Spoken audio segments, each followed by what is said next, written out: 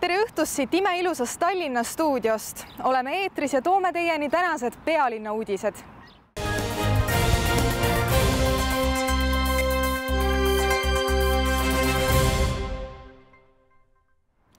kütusehinna tõus sunnib autojuhte otsustama, kas kasutada isiklikku liikumisvahendit või sõita ühistranspordiga. kuigi Covid on liiklejad veel autodesse naelutanud, siis saab üha enam selgeks see, et linnas liiklemiseks on oluliselt soodsam ühistransporti kasutada. kütusehinnad on taas teinud Eestis rekordi. pealtnäha paistab, et kütust ikka tangitakse ja rahvas lepib olukorraga. ka pargi- ja reisiparklad on hetkel tühjad või pooltühjad. osalt on see tingitud ka äsja lõppenud Covidist, sest Covidi ajal hoiti ühistranspordist eemale. millal ja mis tingimustel te oma autost loobuksite? Kui ma elaksin äh, metsas kuskil omaette ja autot pole vaja. kas kütuse hind äh, liiga kõrge ei ole juba? on. ja ikka sõidate? no aeg-ajalt, ainult siis, kui pean. Tallinnas sõidan ainult bussidega. ei loobu vist auto minu jaoks on mugavus. aga bensiini hind ja, või kütuse hind, kuidas see on? jah, kalliks läinud, no aga mis teha tööauto, vaja transpordiga tegelen ja kogu aeg vaja sõita, nii et. kütuse hind on praegu üsna kõrge. on. ometi hakkab jää vaikselt murenema. meil on olemas tõukside võrk vähemasti kesklinnas. jalgrattateed hakkavad samuti ilmet võtma, seda kesklinnaski. seega leiab oma sõiduautole alternatiivset liikumist iga soovija on väga palju populaarsust kogumas rendisõidukite teenus, et äh, kui me suvalise foori taga seisame, siis me avastame, et võib-olla üks kümnest autost äh, ongi rendiauto ja neid on nüüd tänavapildis ka ilusti näha. et tegelikult me näeme, et see, see turg on kasvav ja, ja see ongi hea, seepärast et tegelikult ka linna seisukohalt rendisõiduk ongi ühistransport, nagu ka takso, nagu ka buss või nagu tõukeratas äh, või rendiratas. miks mitte kasutada Tallinnas liikumiseks pargi- ja reisisüsteemi esiteks on linnas parkimine tasuline ja parkimiskoha leidminegi tihtipeale raske. teiseks, kõiki alternatiivseid liikumisviise on linnas juba piisavalt palju, et liikumiskiirus seeläbi ei kannataks. ja kolmandaks, ka tervisele tuleb vahepeal kasuks teisiti liikuda kui autos istudes Tallinna Naiste Tugikeskus korraldab lähisuhtevägivalla all kannatanud emadele koolitusi, mis aitab neil teadmisi omandada, kuidas elus edasi liikuda. koolitusel osalenud naiste sõnul said nad tuge ja teadmisi, kuidas olla parem ema. Eestis on viiendik inimestest elu jooksul lähisuhtevägivallaga kokku puutunud.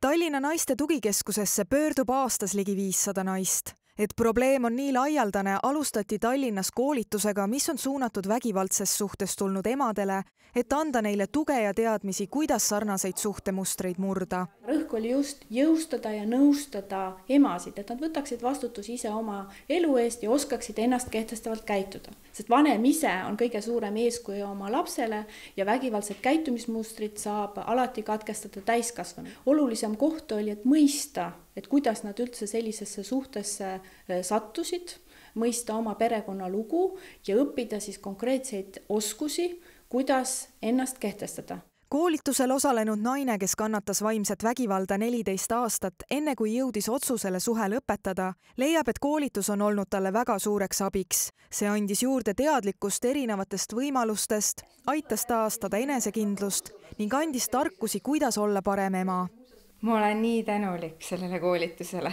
et ma olen tänulik, et ma sinna sattusin, mina kui ema, kes ongi tulnud äh, raskest suhtest, et ka mina mõistaksin neid erinevaid mustreid, kuidas ma ise, mismoodi võib-olla ma ise käitun.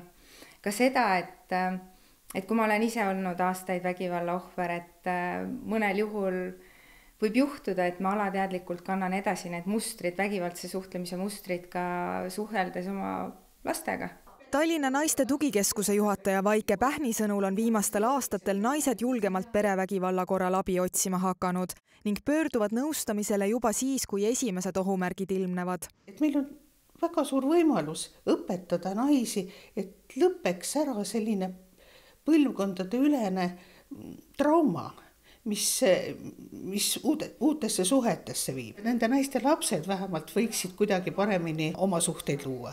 Ja see ongi meie eesmärk. Emade võimestamise koolitusgrupp toimub taas sügisel ning siis plaanitakse neid juba ka üle Eesti teistes tugikeskustes korraldada regionaalhaigla senine verekeskus Hädala tänav kaks läheb remonti ja keskus avatakse uuel aadressil südalinnas Estonia puiestee üks. oodatud on kõik doonorid, kuid hetkel vajatakse eriti nullreesus negatiivset verd regionaalhaigla verekeskuse asenduspind Estonia puiestee üks esimesel korrusel on end juuni esimeste päevadega juba igati tõestanud ja tõmmanud ligi ka hulga uusi doonoreid. uues asukohas osutatakse täpselt samu teenuseid, mis remonti läinud keskuses Hädala tänaval Hädala tänavalt tuli praegu siia Estoniasse doonorite vastuvõtmine ja vere kogumine ja nii täisvere kogumine kui kõik afereesid. jääme nii kauaks, kui Hädala tänava maja valmis saab, ehk tegelikult on see kaheks aastaks statistika näitab, et Eesti elanikkonnas kaks koma kaheksa protsenti on doonorid. rahvusvaheline soovitus on, et see näitaja oleks nelja protsendi peal. pidevalt vajatakse juurde uusi püsidoonoreid, et riik oleks verega ka hästi varustatud meil on doonoreid äh, selle kohta piisavalt, et äh, tegelikult ükski patsient äh, vajaliku vereülekandeta ei jää, aga loomulikult sooviksime me rohkem doonoreid, seepärast et oleks rohkem valikut ja üks ja sama doonor ei peaks liiga palju annetama üks vereloovutus päästab kolm inimelu. Tallinna linnapea Mihhail Kõlvart on staažikas vereloovutaja ning kutsub seda tegema ka teisi. see on ühest küljest äh, nii väike asi, mida saab iga inimene teha, aga sellest väiksest asjast äh, võib-olla sõltub äh, kellegi elu. ja on veel üks väga tähtis aspekt, tegelikult see on päris tervislik, et kui seda teha regulaarselt, siis on ka enda tervisele tegelikult hea doonorite hulgas on ka neid, kes juba kahesaja kümnendat korda verd annavad ja on varemgi kaamera silma ette jäänud. kohtusime jah, vist umbes pool aastat tagasi, ma arvan, aga ma üritan käia kaks korda kuus, mis on ka maksimum. afereesi doonorina on see õnneks võimalik. et minu jaoks äh, vereloovutus on ka osa riigikaitsest. et ilmselgelt, et kui me nõrgemaid äh, aitame, siis meie riik on ka tugevam eriti on hetkel verd loovutama oodatud nullreesus negatiivse veregrupiga doonorid, sest tegemist on nii-öelda universaalse verega, mis sobib hädaolukorras kõigile. verd saab lisaks keskusele Estonia puiesteel loovutada ka Ülemiste doonorikeskuses suvi Tallinna lasteaedades tuleb magus, sest täna said lapsed Joosepi talu poolt kingitud maasikataimed mulda pista kokku jagati kaks tuhat maasikataime neljakümne eri lasteaia vahel. nüüd jääb üle vaid oodata, et saak tuleks külluslik. Tallinna lasteaedadele jagati täna tasuta maasikataimi, et väikesed aiapidajad saaksid juba sellel suvel oma kasvatatud marju peenralt süüa. Südamekese lasteaias said esimestena maasikataimed mulda pista Chiara ja Mark Sebastian, kelle jaoks aiatöö ei ole sugugi võõras. mis sinu lemmikmarjad on? maasikad. Maasikad ongi ja täna saad ise neid istutada. kas sa oled ennem ise maasikaid istutanud? vanaema ja vanaisa juures. siis on juba asi käpas. mis su lemmikmarjad on, kas maasikad ongi mm? -hmm. ja millega sulle maasikaid kõige rohkem süüa meeldib? koos pannkoogiga kui Südamekese lasteaia peenardel kasvavad maasikad juba mitmendat aastat, siis paljud Tallinna lasteaiad saavad endale nüüd esimese oma marjapeenra. kokku jagas Eesti Põllumajandus-Kaubanduskoda kaks tuhat taime neljakümne erineva pealinna lasteaia vahel. valik oli väga lihtne, et saatsime välja meili, kus sai ennast registreerida Google'is ja nii need nelikümmend selguski. eelmisel nädalal kolm päeva oli aega ja nii lihtne. Teie lasteaias on küll väga looduslähedane hoov, et kui kui sageli te lastega koos midagi istutate või teete sellist aiatööd? no iga päev ei saa öelda, aga me käime ikka päris tihti siit läbi, äh, vaatame, võtame mingeid umbrohte, maitseme äh, mida maitsta saab. kui oluline on see, et lapsed oleksid äh, looduse ja maaga sellises vahetuskontaktis? no ikka väga oluline on, et kus see linnalaps muidu seda näeb, et kellel on maakodu, saab käia, kellel ei ole, ei saa ja teine asi on see, et mitte ainult laste jaoks, õpetajate jaoks ka see ikka, kui sa tuled siia vahepeal istud väljas, et täitsa tore on idee lasteaedadele maasikataimi kinkida tekkis aga Joosepi talul. meil tegelikult jäi lihtsalt endale istandiku rajamisest üle taimi. Eh, noh, tavapraktika on see, et me müüme need teistele ettevõtetele. see aasta meil Joosepi talu perenaine otsustas siis, et kingime lasteaedadele, teeme natuke rõõmu. kokku kinkis Joosepi talu üle Eesti viis tuhat maasikataime, kaks tuhat nendest Tallinna ja kolm tuhat Valgamaa lasteaedadele mis tunne on olla turist omaenda linnas. kohad ja vaated, mis on meile nii tavapäraseks saanud, võivad esmakülastajale kustumatu mulje jätta. täna uuris meie reporter Liisa Aadussoo, milliseid kohti meeldib turistidele Tallinnas avastada ja mida uut on meil endal oma linnas teha turisti ja vaid lühikeseks ajaks uude linna jõudva inimese esimene küsimus on, kuidas näha ja kogeda ühte linna väikese aja jooksul võimalikult palju. ideaalne võimalus on kasutada maailmas tuntust kogunud hop-on, hop-off bussilahendust. kindlasti on see vana linn ja kindlasti Kadriorg, kus, mis on siis meie bussimarsruudile nagu suurim vaatamisväärsus. täna uurime, kuhu Tallinnat külastavaid turiste viiakse ja kuidas sellest kõige paremini aimu saada, ikka ise Tallinnas turist olles Lähme vaatame. kuhu te meid täna siis viite? täna sõidame Piritale, vaatame siis äh, kuni teletornini sõidame siis. täna on siiralt ideaalne ilm selle tegemiseks, mida me kohe tegema hakkame. nii, võtame siis istet siia.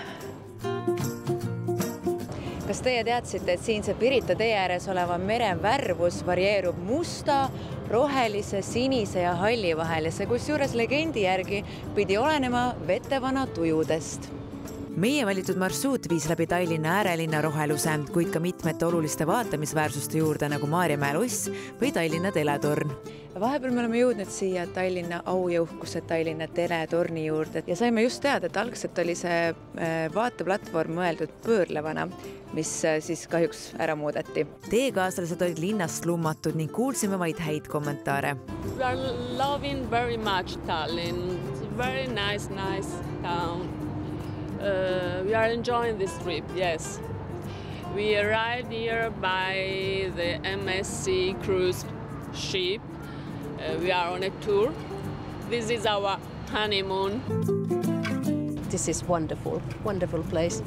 You've been here before? Uh, many times kuigi on palju inimesi, kes hetkel Ukrainas toimuva sõjalise agressiooni tõttu Venemaaga piirnevatesse riikidesse ei taha reisida, võib siiski öelda, et eelolev suvi töötab turistide poolest tulla parem kui eelmised kaks aastat hüppasime bussi pealt maha siin imelises Kadrioru pargis, mis kusjuures on turistide üks lemmikpaiku Tallinnas.